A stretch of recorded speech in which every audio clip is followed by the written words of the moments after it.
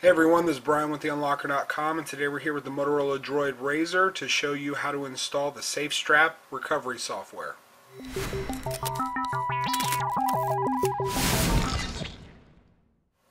Alright, usually when we start talking about recovery software, it's uh, one option for recovery software. Here with the Droid Razr, we actually have two. We have uh, Bootstrap, which a lot of people use, and then we have SafeStrap, which is what we're going to be demonstrating today.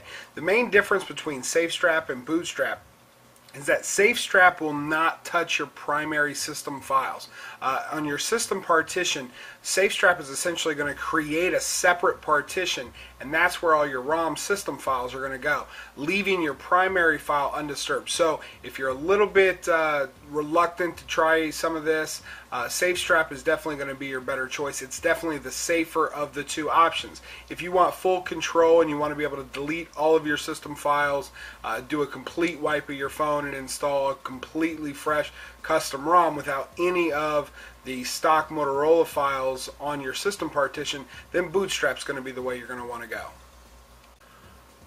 Alright, before you begin, obviously you're going to need to have a rooted Motorola Droid Razr. If you haven't done that yet, uh, we do have a link on our site where we've got a video tutorial showing you how to root your Motorola Droid, which is a fairly simple procedure.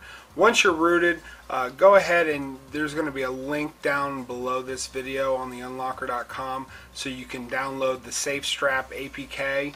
Uh, once you get that downloaded, you're going to want to make sure you go into Menu, Settings, then go down to applications and make sure that unknown sources is checkmarked. If it's not checkmarked, then you won't be able to install the uh, APK file. Alright, once we've done that, we're going to go ahead and download the uh, SafeStrap APK and uh, I've downloaded mine straight to the phone so uh, if you've downloaded it to a computer obviously you're going to want to move it over to your device now. Uh, and then just simply go ahead and click uh, on it to install using any uh, file manager. I'm using Astro. And then just say uh, install when you get prompted and then install again. And it installs like any uh, non-market application would. Once that's done go ahead and open it now it's going to ask for super user uh, permissions. Go ahead and click the remember button and then click allow.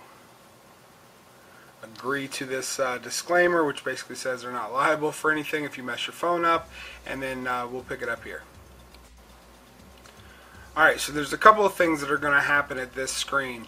Um, this is simply the, the way that you're going to be able to install the Clockwork based recovery on your device. And to do that you simply click install recovery.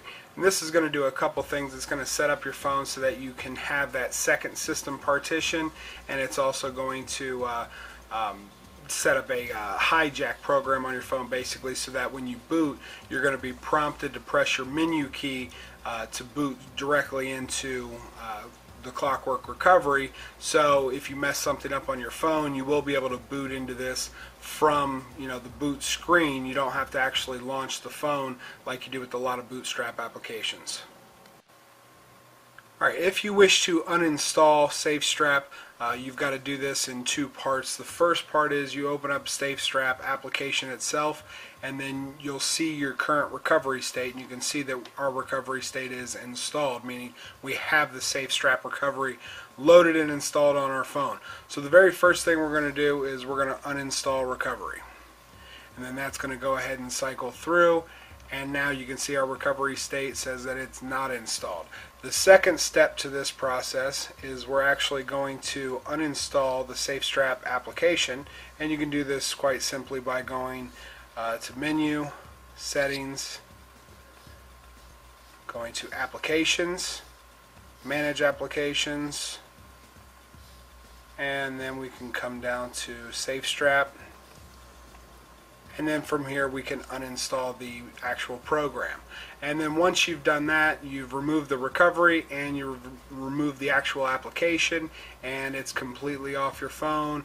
And aside from the downloaded you know SafeStrap you know APK file there's no traces uh, of SafeStrap on your device Alright, and that concludes this tutorial for how to install the SafeStrap application and recovery software.